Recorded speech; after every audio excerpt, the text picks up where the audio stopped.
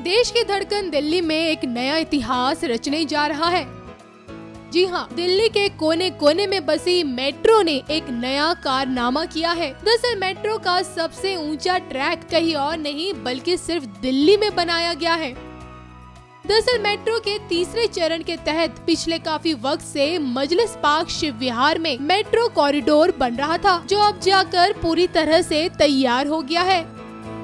लेकिन सबसे दिलचस्प बात ये है कि मजलिस पार्क शिव विहार में बना मेट्रो का ये कॉरिडोर देश भर का सबसे ऊँचा कॉरिडोर है, जिसकी ऊंचाई करीब सात मंजिला, यानी कि उनसठ किलोमीटर ऊँचा बताया जा रहा है।